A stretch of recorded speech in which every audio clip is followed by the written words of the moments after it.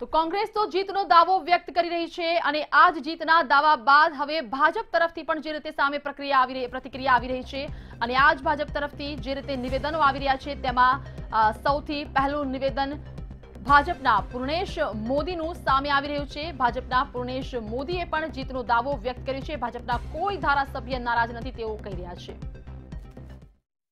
છે અને પ્રાંતિજના ધારાસભ્યનું પણ નામ સામે છે. શું કહેશો? કોઈ એવી કોઈ વાત જ નથી. આ બધી બે બુનિયાદવાદ ઉપચાઈ કાઢેલી છે. ભારતીય જનતા પાર્ટીની જીત નિશ્ચિત છે એટલે આવી બધી અફવા ફેલાવે સ્વાભાવિક છે. કોંગ્રેસનું કામ છે. તો અત્યારે આજે ચુસ્ત પોલીસ બંદોબસ્ત કરવામાં આવે છે. ગત મોડી રાત્રિથી તમામ ગાડીઓનું ચેકિંગ થઈ રહ્યું છે. પોલીસ દ્વારા ક્યાંક ભાજપનો ફફડાટ સામે આવી રહ્યો છે? નહીં નહીં નહીં. કાયદો કાયદાનું કામ કરતો હોય છે. એમાં કશું નથી. અચ્છા હાલ જ સીજે ચાવડા એવો દાવો કર્યો છે કે કોંગ્રેસ ભાજપ કોંગ્રેસમાંથી જે ભાજપમાં આવેલા છે તે ધારાસભ્યો છે અને એ ક્રોસ વોટિંગ એ તો એવું જ કહે ને ભાઈ હવે. એ કેન્ડિડેટ છે આવું બધા જ હટકંડા અપનાવશે સ્વાભાવિક છે. એ એની રણનીતિ છે. એનાથી કઈ ભારતીય જનતા પાર્ટી ગભરાતું નથી. બે જે ધારાસભ્યો નારાજ છે તેમને કોઈ નારાજ જ નથી. કોઈ નારાજ જ નથી આ જોઉં તમારી સામે તો પહેલો હું નીકળો. કોઈ નારાજ નથી.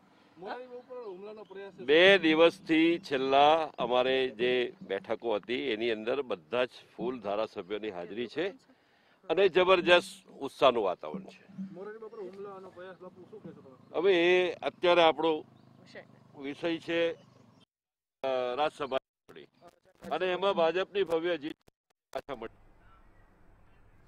તો ભાજપ તરફથી પણ જીતનો દાવો અને ખાસ જે વાત થઈ રહી છે, સીજે ચાવડાએ જે રીતે જણાવ્યું છે કે ભાજપના બે ધારાસભ્યો ક્યાંક ને ક્યાંક નારાજ છે, કે જેઓ કોંગ્રેસમાંથી ભાજપમાં ગયા હતા અને તે પણ ક્યાંક અતિ મહત્વના સાબિત થઈ શકે છે કોંગ્રેસ માટે.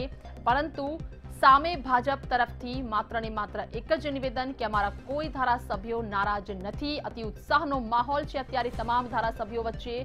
જે રીતે ગઈકાલથી બેઠકોનો સિલસિલો શરૂ થયો અને આ જ તમામ બેઠકોમાં તમામ ધારાસભ્યો એકદમ આત્મવિશ્વાસથી ભરપૂર અને સાથે જ જીતના વિશ્વાસથી પણ ભરપૂર. અને આ જ કારણસર જે રીતે અત્યારે પૂર્ણેશ મોદીએ પોતાનું નિવેદન આપ્યું તેમાં સ્પષ્ટપણે જણાવ્યું છે કે અમારા કોઈ ધારાસભ્ય નારાજ નથી. અમારા ત્રણેય ઉમેદવારોની જીત નક્કી.